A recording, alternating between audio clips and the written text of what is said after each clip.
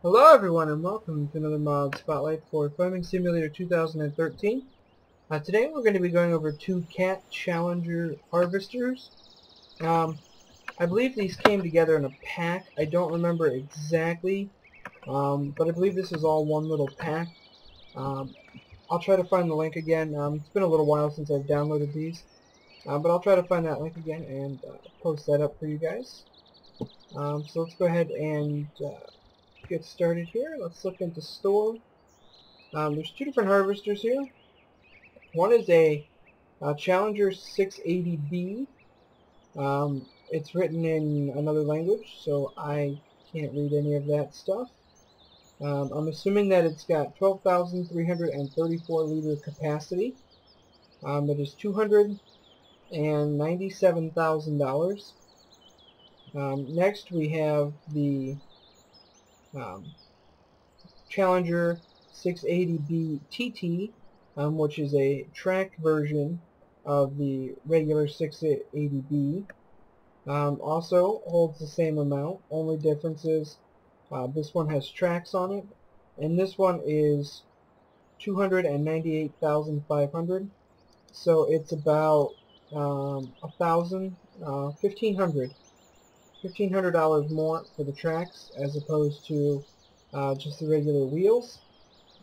Uh, also with this, you have two uh, header trailers. Um, the first one is the, um, whatever that is, um, for the 68B.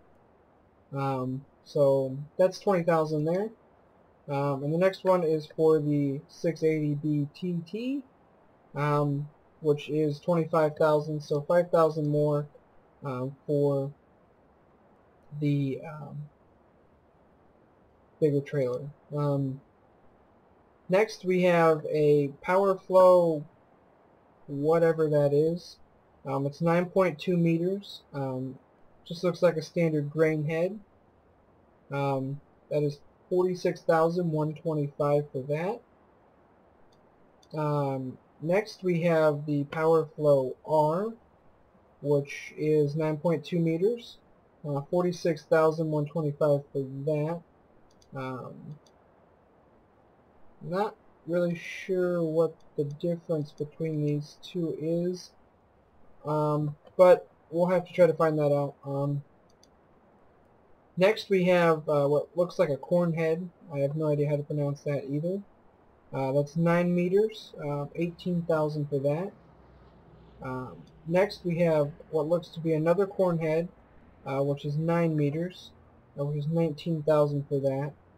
Um, just a slight little difference here you'll notice in the picture. Um, this one doesn't have this yellow uh, kind of backing here. I'm not really sure uh, what that has to do with anything, but we'll find out. Um, next we have the PowerFlow whatever EE. Uh, that's a 10.2 meter head, which is 51,250. And last we have a PowerFlow EER, um, which is 10.2 meters and 51,250. Uh, so these are the same price. Uh, again, they're slightly a little bit different head here. Um, I'm not sure if that has anything to do uh, different with what they can harvest or whatnot.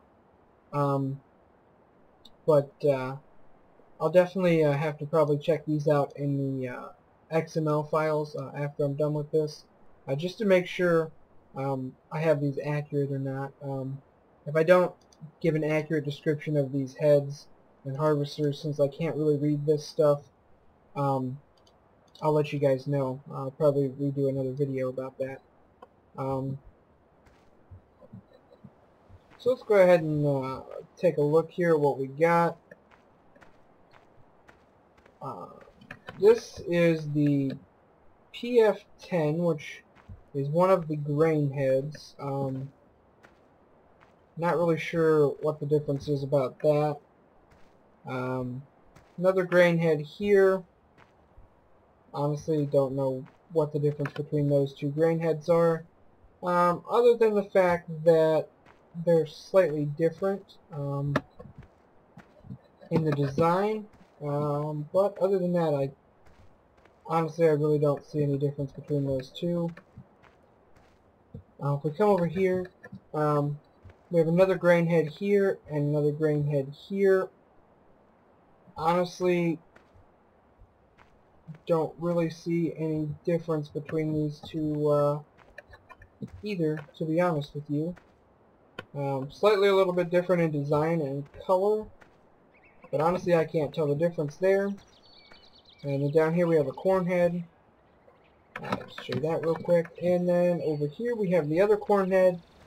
And honestly I don't know what the difference is other than the fact that this one has this yellow uh, strip here at the top as opposed to that one which does not. So honestly, I truthfully have no idea what the difference is between any of these heads and because I cannot understand uh, what is written, I have no idea.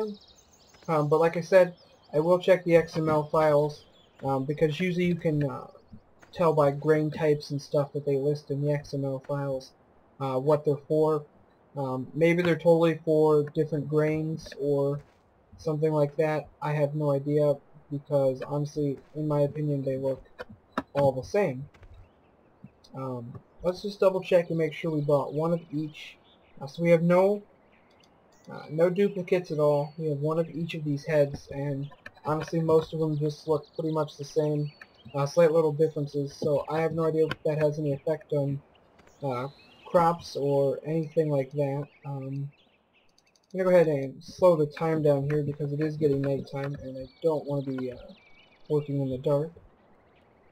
Um, so this is the uh, 680B here.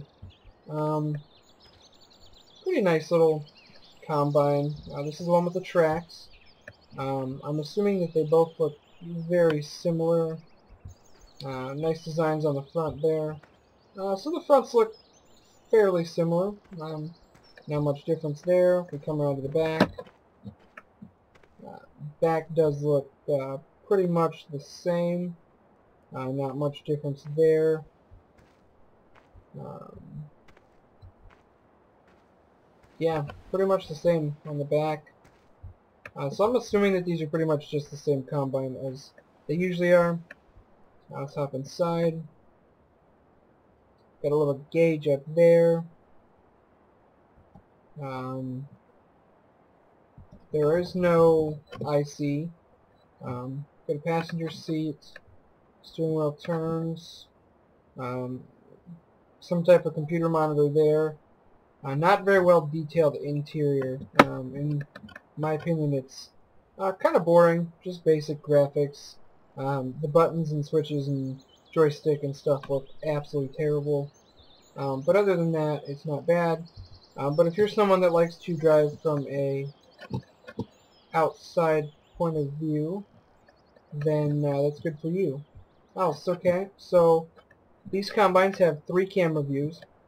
We have camera view 1, which is the inside. Camera view 2, which is a direct shot of the grain tank, uh, which if I hit X, I can open. I guess we're to start this, probably. Yep, if I hit X, we can open the grain tank. So that'll show you shot 2 is a direct view of the grain tank. And then shot 3 is your basic overhead view. Uh, so we're going to go ahead and shut that off. Uh, so it does have a pretty good sound there to it. Um, like I said, this combine looks exactly the same. Only difference is it doesn't have uh, tracks, it has tires. So that's the only difference there. Um, we're going to go ahead and uh, test this out. Um, I do have an entire field of corn set up over here. Field 1 is ready to go with corn. Uh, so we're going to go ahead and uh, probably grab this uh, track guy here, hook up one of these two corn heads, and uh, head on over and start harvesting some corn. so I'll be back when we get over there. Okay, so I just thought I'd update you here a little bit why I'm hooking up the grain head. Uh, a couple things happened here. Um, I hooked up the corn cutter, and you notice those two heads are no longer in line. Um, what must have happened is when I hooked this up, um, they were touching uh, on the edges a little bit, and what happened is those two heads just went flying across the parking lot like it was uh, a sheet of ice and uh, they just completely slid over there out of control so that's something to keep in mind. Um, it looks like the heads are not properly weighted um, so you may have issues with that. Um, they may end up turning into uh, kind of hockey pucks on ice uh, so that's not cool. And also I was going to try to use one of these little grain uh, header movers, header trailers. Um, unfortunately we're not going to be able to do that because if you look how they spawned you'll notice that the hitch is actually turned around facing backwards um, into the actual trailer. Um, so I'm not actually able to uh, hook up my combine without either resetting them or pushing them around quite a bit. And I figured uh, it's not worth the time to sit there and play around with those. So that's something to keep in mind uh, also about that. And also we're running into them apparently uh, which is not a good thing um, so I'm gonna go ahead and drive over to the field and I'll meet you there. Alright we're back. Um, as you can see we're almost over the field so I thought I'd just do a quick speed test on the way over. Um, as you can see here we're pushing uh, about 27 at maximum speed. Uh, so that's not too bad. Um, it's got very quick acceleration on it uh, in my opinion. Also, it's pretty loose, um, as you can see here. Uh, so that's just something to keep in mind. Uh, again, very, very loose combine. Um, we're going to go ahead and run down here, start in this corner. Uh, also, uh, once we get over here, I'll do a uh, light function test. Uh, we'll see what kind of blinkers we got and check out all the keys and stuff. Um, also, we will probably go ahead and check two things. One, we'll check that it works with the hired worker, and two, I'll check and make sure that it works with my auto combine mod that I have. Um, if you don't know what the auto combine is, um, I have a video up about that. I just want to go ahead and check that out. Uh, so, let's go ahead and check out our blinkers and stuff. Uh, we do have flashers, uh, beacons. We have one on the front and one on the back. Um, the number one key, two key, three, four, five, six turns on a front set of work lights up there. Seven, eight, and nine do nothing. Um, F turns on your front lights. Uh, you have one set of front lights uh, as your main driving lights, and then F again does your work lights there. Um, to unfold the combine, we need to select it, so hit G, and then hit X, unfold that. Uh, so we have a chopper on this, but that's not going to apply since we're harvesting corn. Uh, let's go ahead and hire the worker and see what happens. Alright, so one problem here. Either A, this is not a corn head, or B, this does not recognize that corn. Um, so what I'm going to go ahead and do is we're just going to go ahead and pull this little guy over here to the side. Um, I'm going to run back to the uh, store, grab the other combine, uh, the regular with uh, both wheels, um, grab that and grab the other corn head and bring it over and we'll see what happens. Alright, so we're back again. Um, I went ahead and ran over, grabbed the other combine, uh, picked up the other, uh, what's supposedly a corn head, or what I think is a corn head, and let's go ahead and uh, give him another try here. Let's go ahead and uh, unfold this, and then we will hire a worker and see what happens. If this does not work, um, then we'll manually try to do it and see what happens. Alright, so there we go. We're harvesting corn now. Um, so what I can tell um, from what's happened here is that head over there is not a corn head. Um, it is set up for some other type of fruit. Um, I will go ahead and take a look at the uh, XML files and try to figure out what that is and uh, I'll let you guys know. Um, I'll definitely definitely let you know what that's set up for and I'll let you know what the other head's set up for too because uh, obviously there's two different types of grain head and uh, we're not really sure what that is. Um, so as you'll notice here we also seem like we have uh, options here. Keypad 5 and keypad 4. Um, there's something to do with the reel speed. Um, so let's go ahead and try that out. Um, if we hit keypad 4, uh, slow it down it looks like. Uh, not really seeing any effect there. Uh, if we do hit keypad 5, apparently we can speed it up. Um, again, not really seeing any sort of uh, effect there on that either. Um, it may play more into effect on a uh, grain head or something, um, but to me it doesn't seem like uh, it's really affecting anything at all.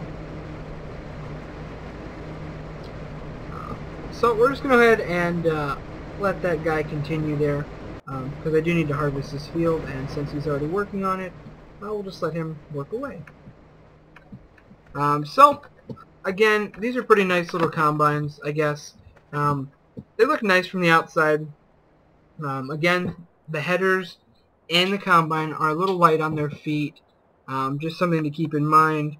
Um, also, there's two different types of uh, corn type heads, and there's also two different types of grain platform heads.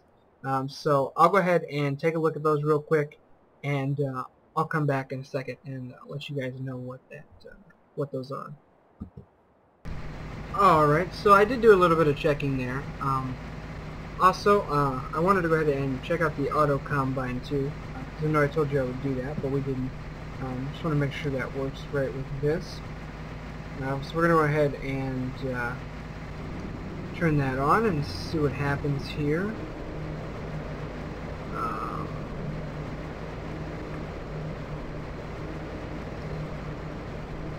looks to me like the auto combine is having a bit of an issue. Uh,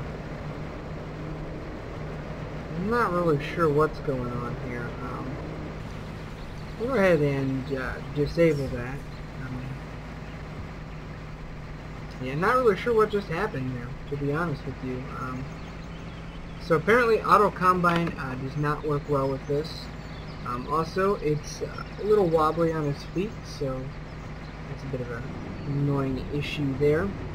Um, but uh, what I did find out here, um, and I'll show you, um, this head here, uh, this is, from what I gathered, I guess this is a sunflower head.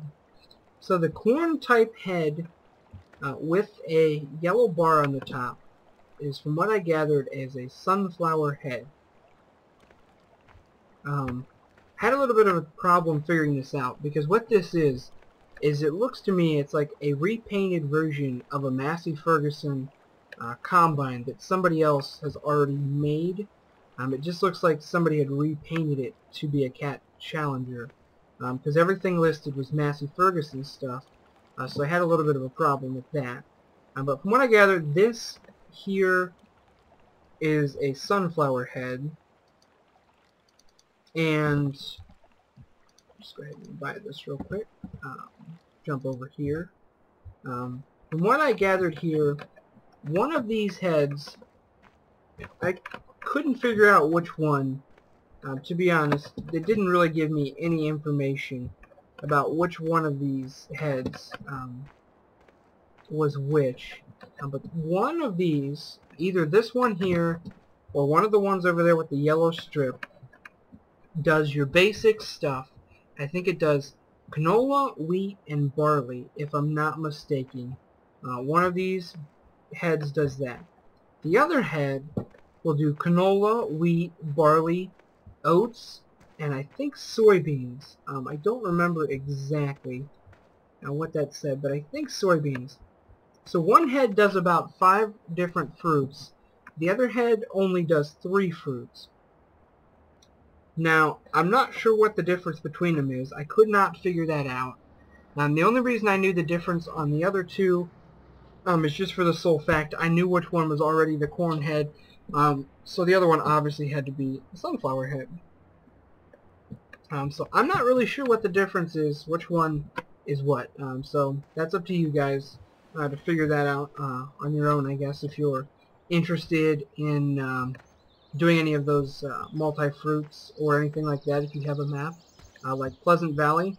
Um, this would be a decent combine for Pleasant Valley. Um, fairly nice size combine. Um, also, it's got, you know, fairly nice size grain heads here. Um, and it also will do the multi-fruits, which is definitely something you need for uh, running on Pleasant Valley. Um, in other words, uh, it's a pretty nice combine. A little crappy looking paint job on the inside. Buttons and stuff don't look so nice. Um, but otherwise, it works well and uh, it does its job. Uh, I want to thank you guys for watching. Uh, please leave a like below. Also leave a comment. Let me know what you think. Let me know if you have any questions or concerns. Uh, thank you for watching, and I will see you later.